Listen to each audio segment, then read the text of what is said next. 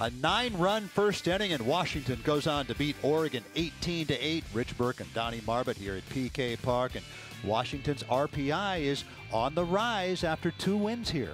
Yeah, winning the way they have on the road against a, a ranked team like Oregon does wonders for obviously the confidence, but obviously wonders for your RPI and your strength to obviously move up in those NCAA selection show.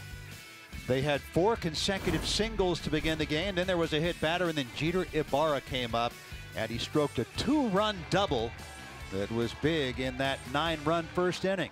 Yeah, it was tough sled from there on out from the Huskies. Huskies obviously for, against the Ducks, nine nothing in the first inning. It's almost a, a lead that's really really too tough to come back from, Rich. Then you saw the double by Michael Snyder, and then after Jackson Pace left, Turner Spoljaric came in, and Sam DiCarlo hits a two-run home run. All nine batters scored in the very first inning.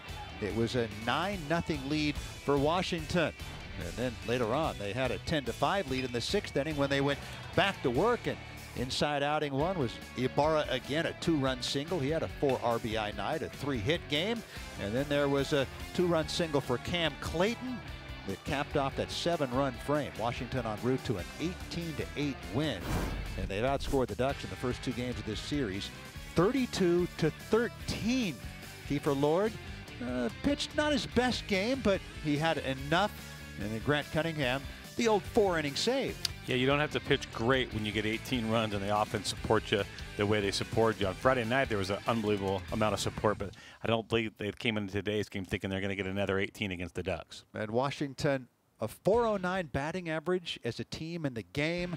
That'll get the job done. Six doubles and then the home run by Sam DiCarlo in the first inning. Finale of the series coming up on Sunday at noon. The Huskies would look for an improbable sweep that would really do wonders for their RPI.